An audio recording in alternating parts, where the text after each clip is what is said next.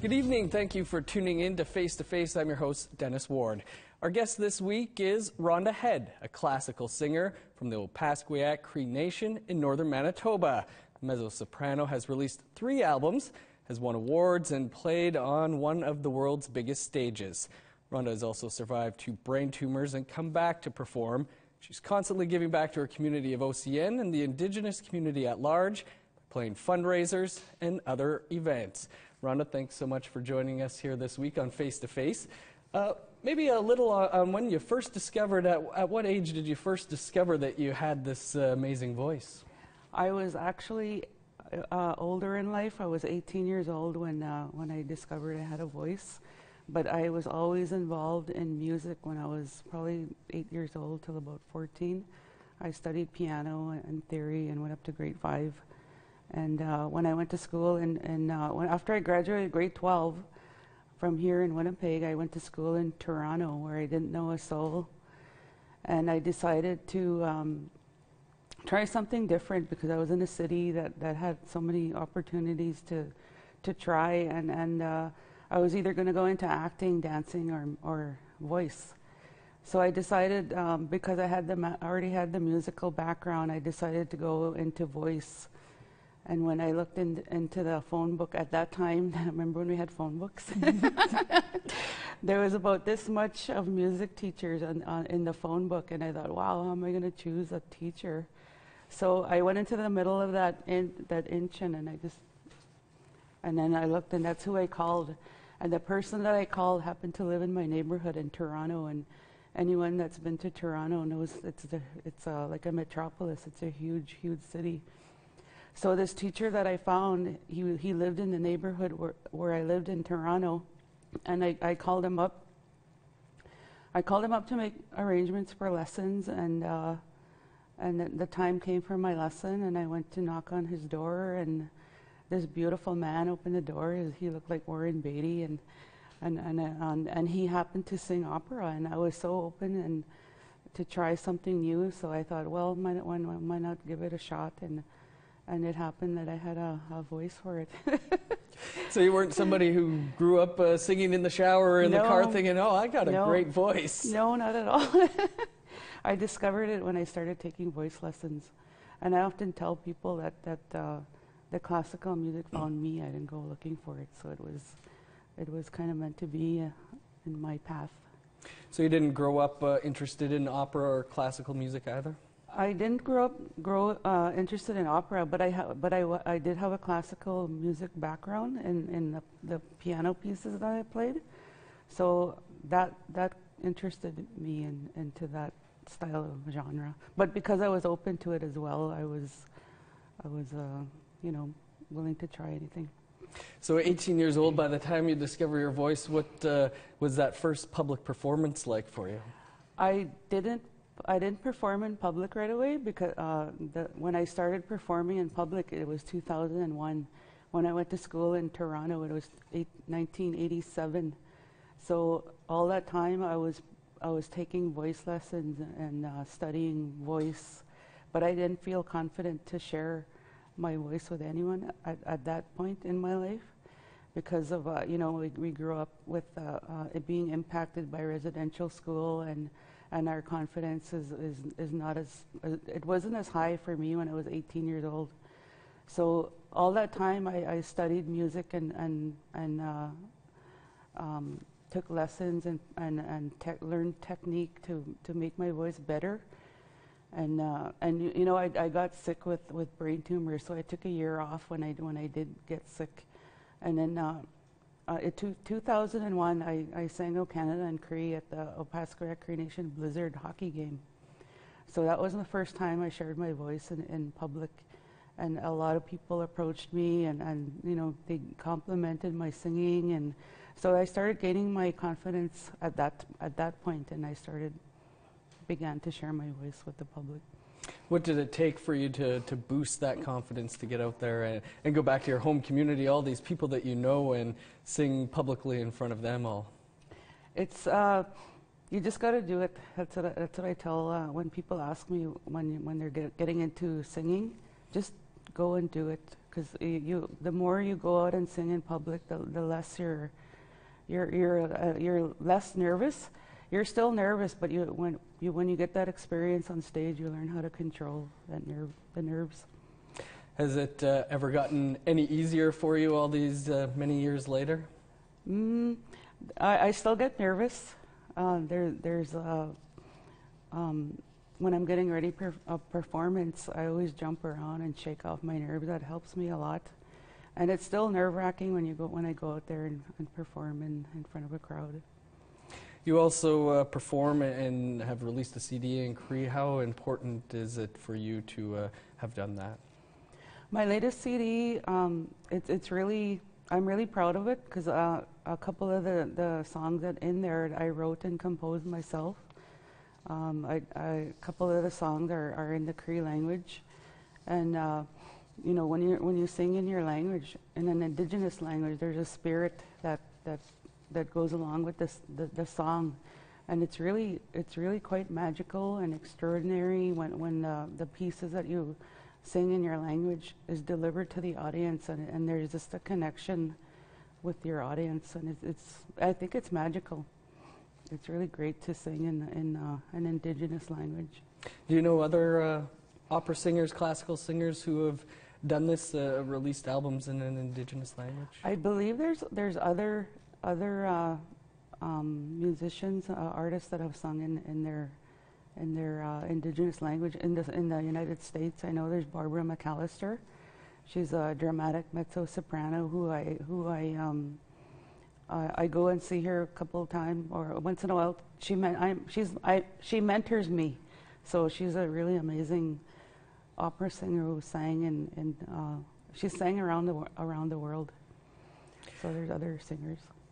Rhonda, you've encountered some some health obstacles, as you mentioned, uh, some brain tumors. What uh, type of impact did that have on your career? Um, well, well, I took a year off. Like I took time off because, uh, my main focus when I got sick was to was to focus on my health and and to to come out of it healthier. Well, to come out of it and to survive. That was my main focus. I just totally put everything away, work and and music. I just put it on the shelf, and then I focused on my on my health and getting better. And this happened a second time as well? And it happened, happened a second time. Uh, five years later, my tumor grew back and uh, um, it was more devastating than the first time because I knew that I had to go face again. And uh, I told myself I didn't want to go through that surgery again because it, it hurt. It, it hurts really a lot. and uh, so I did some studying online and, and found out there was other treatment options that were uh, uninvasive. And uh, the treatment that I found is at that time it wasn't it wasn't offered in Canada. It was offered everywhere else around the world but Canada, and uh, I chose I chose the one in um, San Diego, California, and uh, I went there to get my treatment, and I was up during the whole procedure. I even had a bathroom break, and so it was it was it was really amazing to have brain surgery when you're still awake. was it difficult, uh, you know, in terms of cost, having to go to the United States to get a surgery like this done? It was difficult, yeah, because like I said at the time, um, the Gamma knife wasn't offered in, in Canada. Uh, the, the health didn't want to pay for my treatment because they wanted me to stay in Canada and get treated here. So I had to lobby for, for uh, funding to go, and, and fortunately, my First Nation um, helped me out. Do you feel that uh, you know going through these health scares uh, has influenced the type of music that you do? Um, I don't think it has influenced me and, and the type of music that I have, have been performing because I already started performing it before I got sick, and and uh, I just fell in love with the music, and and um, it it didn't have an impact on on my choice of genre. We're speaking with mezzo soprano Rhonda Head on Face to Face to Face. Of course, uh, some success uh, hard to come without uh, challenges. More on that coming up after this short break.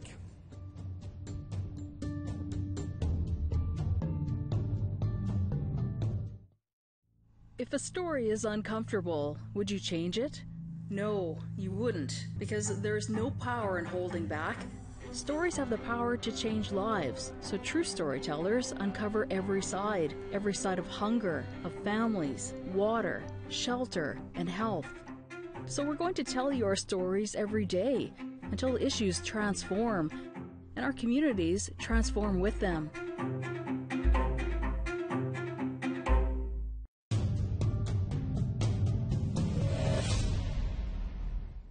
Welcome back to Face to Face, where today our guest is Rhonda Head, the award winning opera singer from the OCN First Nation in uh, northern Manitoba.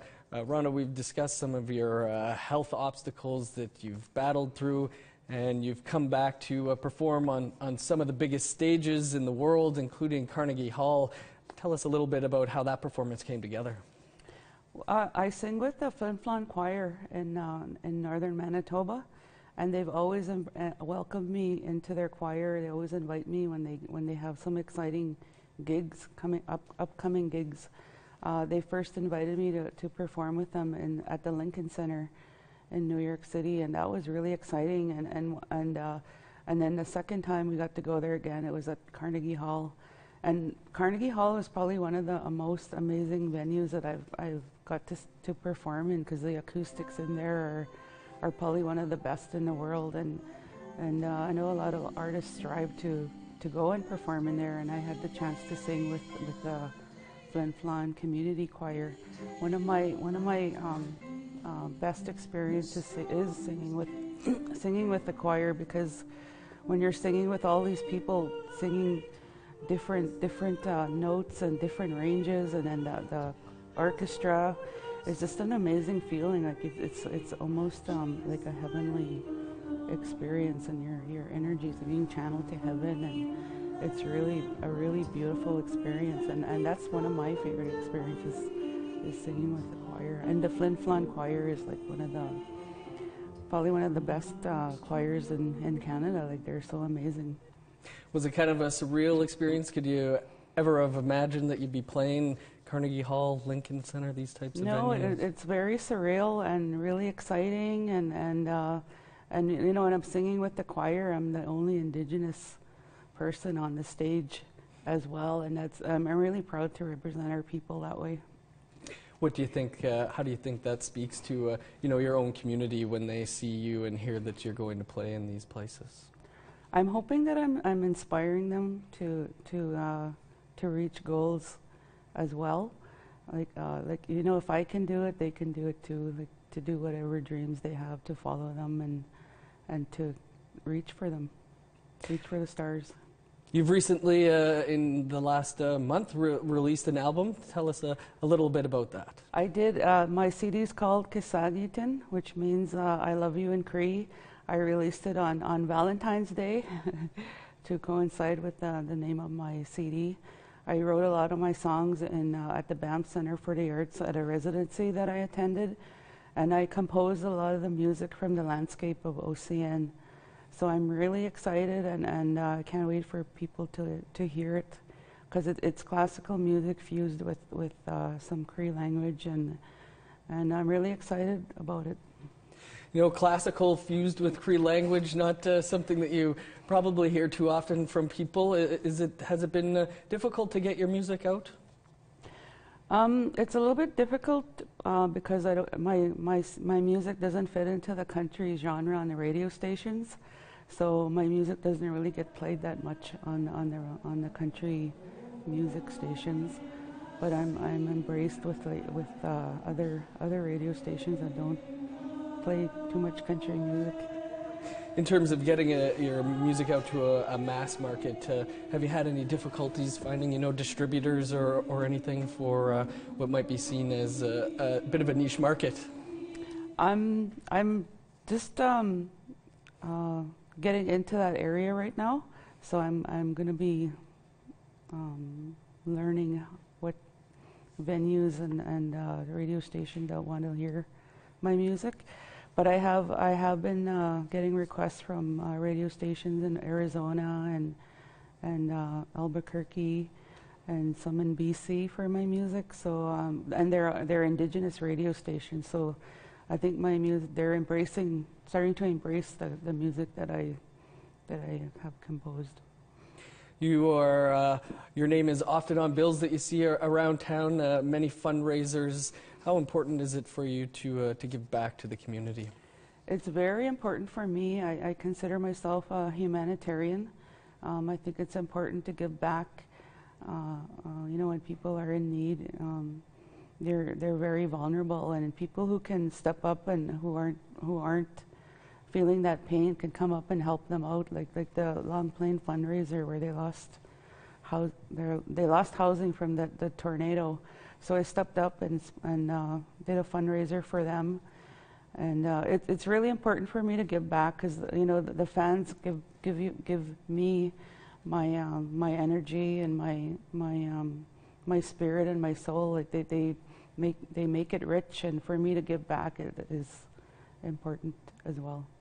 Do you have uh, youth coming up to you, uh, inspired by what you're doing, asking for uh, any uh, type of advice that you can give? Yes, they do. Uh, I get a lot of messages on Facebook, and, and uh, upcoming musicians ask me how, how you know how to get started and and it, where where to record, where to get lessons, where they, how did I get where I'm at. So I I, I help them out by um, you know, Manitoba Music really helped me out a lot. They have a lot of resources there, so I refer a lot, a lot of people, upcoming musicians there. What uh, message do you have for any of those uh, aspiring youth out there looking to get into uh, maybe not just classical, but uh, any type of music? Uh, took you till you were 18 to, to find your voice. I would say um, to follow their heart, to to follow the music that they really love, whether it's classical, jazz, folk, country, hip hop, follow the music that they love because their passion will will will flourish when, when they're, when they follow the music that they love. Do you see a lot of youth in the communities that you visit, uh, up and coming musicians in your mind? I see a lot of talent in our First Nation communities. Yes, I see lots of them, and and uh, for for my advice to them is to keep on performing uh, you know, go take music lessons, go take voice lessons, study theory, uh, try and uh, hone into your t- craft and your technique, whether it's your voice or an instrument, and, and practice. Is it inspiring for yourself to see uh, the amount of youth that uh, are so musically inclined out there? It's very inspiring. That I, I get a lot of inspiration from the youth, from their talent, from their their passion. Um, yeah, they're very, very inspiring, and, and, and I could just see them flourishing and becoming, you know, becoming stars in the Indigenous community. Rhonda, maybe a little on how uh, people looking to find your music can do so. Um, I'm on iTunes, I'm on CD Baby, and um, I have uh, hard copies of my CDs as well. Has the digital age made it easier for you to get your music out to, yeah, to fans? It, yes, it has. Like all I got to do is um, uh, submit our stuff into CD Baby, and then they'll do all the distributing for you. Rhonda, thank you very much for your time here today on Face to Face. Our thanks to classical singer Rhonda Head for joining us. We've got a look at what's coming up next week after this short break.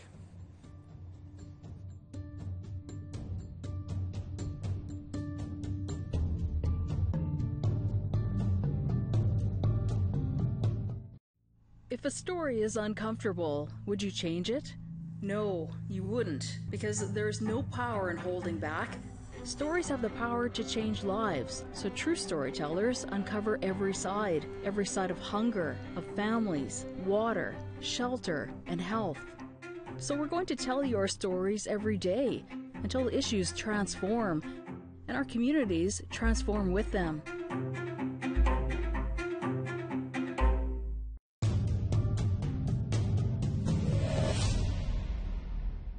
Welcome back to Face to Face. Next week on the show, our guest will be Cora Morgan.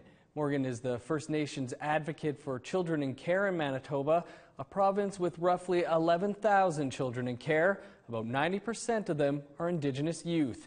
Manitoba has the highest rates of apprehension in the country. As many as 40 newborns are being seized each month. Morgan has been an outspoken critic of the child welfare system. Here's a look at some of our conversation. We have the highest apprehension rates in the Western world. We have the lowest threshold for apprehension in all of North America.